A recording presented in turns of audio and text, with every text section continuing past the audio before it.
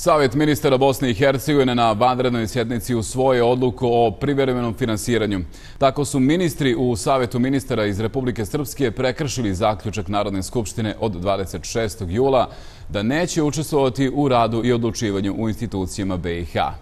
Održavanje sednice Savjeta ministara od predsjedavajućih Zoran Tegeltije traži je visoki predstavnik Kristijan Šmit. Ovu informaciju u parlamentu Srpske saopštio je poslanik Nebojša Vukanović. Hvala Bogu i šuću Allahu. Elhamdulillah.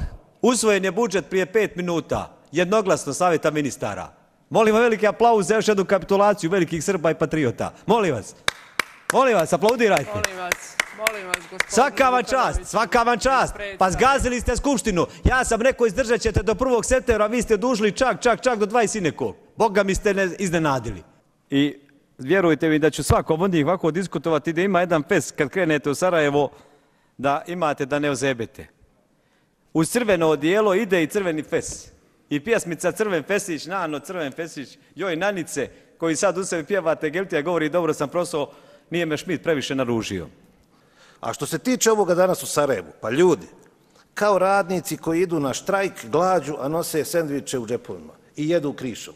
I kad onaj, jeli, vlasnik fabrike to vidi, šta on radi? Pa kaže, pustiti njih, nema od njih ništa. Pa do juče ste govorili imamo pare da mi platimo, nećemo donijeti odluku o financiranju. Do, gospodin Dodik je rekao nećemo, vidjet ćete da nećemo. Evo vidjeli smo da jeste.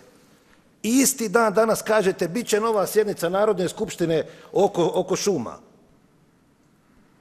Mi ćemo zabraniti OSI, zabraniti CIPI, uništit ćemo sud BiH, formirat ćemo vojsku Republike Srpske, ali evo samo danas ćemo prekršiti one zaključke prethodne. I znate šta je bilo?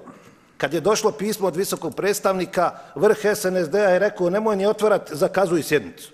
I javili su Tegelti da hitno zakaže sjednicu jer su se prepali smjena. I to je prava istina. Dakle, prekršili ste zaključke Narodne skupštine.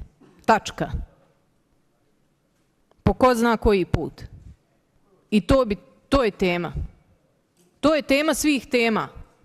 Šta mi ovdje donosimo? Vi branite, vi nešto čuvate, vi patriote. Šta ste?